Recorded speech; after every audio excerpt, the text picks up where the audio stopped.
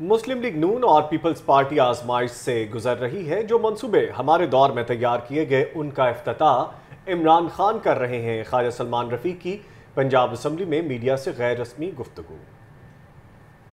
گاڑی بھیجی گئی تھی، وہ پندرہ بیس کلومیٹر کی رفتار پہ چل رہی تھی۔ پچاس ساٹھ سال پرانی گاڑی تھی اور چاروں ٹائر اس کے مختلف سائز کے تھے۔ اور خدا نخواستہ اس کو الٹنے کا بھی خطرہ تھا۔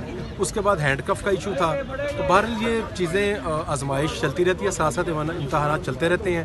مسلم لیگ نون بھی آزمائش سے گزری ہے، پیپلز پارٹی بھی آج پہلے بھی آزمائش سے گزر رہی تھی۔ تو تحریک انصاف کو بھی یہ سوچنا ہوگا کہ جو پولیٹیکل پارٹیز ہیں، ان کو جو انتقامی کارروائی کا نشانہ بنایا جا رہا ہے، اس میں قانون سازی کی جائے۔ اور میں یہ آپ کو ضرور کہنا چاہوں گا، اس قانون کا عام آدمی کو فائدہ ہوگا جس بیرک پہ مارے رہا ہوں وہاں پہ سوا سو کے قریب لوگ موجود ہیں۔ وہاں پہ ایسے کیسز بھی ہیں کہ کسی نے نوکری کے لیے اپلائی کیا، اس نے نوکری اس کی لگ گئی اور اس کی نوکری بھی گئی، جو اس کے پیسے وہ بھی گئے، اور بیس بائیس بچے ہیں جو اس وقت جیل میں ہیں۔